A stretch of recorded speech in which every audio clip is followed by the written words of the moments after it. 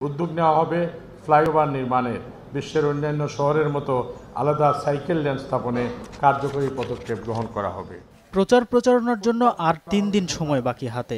এমন সময় নির্বাচনী ইশতেহার ঘোষণা করলেন সিলেট সিটি কর্পোরেশন নির্বাচনের আওয়ামী লীগের মেয়র প্রার্থী বদরুদ্দিন আহমেদ কামরান। এ সময় নগরীর যানজট নিরসনে লিংক রোড তৈরি, ফুটপাত হকারমুক্ত করে হকারদের পুনর্বাসন, জলাবদ্ধতা নিরসন সহ তেত্রিশ দফা নির্বাচনী ইশতেহার ঘোষণা করেন তিনি।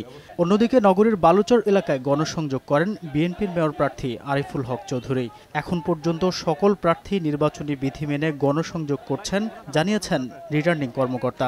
প্রত্যেক বরাদের পর থেকে সিলেটের সিটি কর্পোরেশন নির্বাচনী এলাকায় সকল প্রতিদ্বন্দ্বী প্রার্থীগণ নির্বাচন আচরণবিধি মেনে চলে উৎসমকের পরিষদ নির্বাচন প্রচারণা চালিয়ে যাচ্ছেন, একটি অবাধ, সুষ্ঠু এবং শান্তিপূর্ণ নির্বাচন অনুষ্ঠানের লগে যতগুলো পদক্ষেপ গ্রহণ করে আমরা সেই পদক্ষেপগুলো গ্রহণ করব।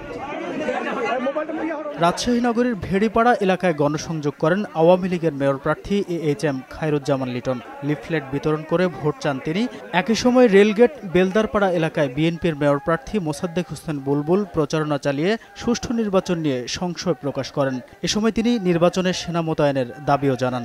যদিও বিশেষজ্ঞরা বলছেন, প্রতিশ্রুতি নয়, শিক্ষা, সংস্কৃতি ও নগর উন্নয়নে পর্যাপ্ত জ্ঞান নির্ভর প্রার্থীর পক্ষেই রায় দেবেন সাধারণ ভোটাররা। শিল্প শিক্ষা, সংস্কৃতি সকল জায়গায় উন্নয়নের জন্য সত্যিকার অর্থে এমন একজন লিডারশিপ আসা একটা লিডারশিপ দরকার, যিনি বিষয়গুলো বোঝেন এবং বাস্তবায়ন করার ক্ষমতাও রাখেন।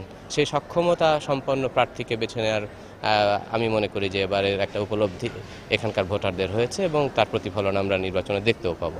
বরিশালে বৈরী আবহাওয়ার পরও নির্বাচনী আমেজ বইছে চারদিকে। নগরের উন্নয়নের পাশাপাশি নারী ও শিশু বান্ধব প্রার্থীকেই কাজ করার সুযোগ দিতে চান সাধারণ ভোটাররা। এবার আমরা চাই নারী বান্ধব মেয়র হিসেবে যোগদান করুক। সৎ যোগ্য প্রার্থী ভোট দিতেছে। শিশুদের জন্য যেন একটা সুন্দর এটা ক্ষেত্র তৈরি হয় সেই ক্ষেত্রে যে মেয়র কাজ করবেন আমরা তাকেই চাচ্ছি। জনগণের জন্য যারা কাজ করতে পারবে এই ধরনের মেধাবী যে তরুণ প্রজন্মের যারা প্রার্থী সেই প্রার্থীদেরকে নির্বাচিত করবে। আগামী ত্রিশে জুলাই একযোগে অনুষ্ঠিত হবে তিন সিটি কর্পোরেশন নির্বাচন। আঠাশ তারিখ রাত বারোটা পর্যন্ত চলবে প্রচার প্রচারণা। আবু নোমান সময় সংবাদ।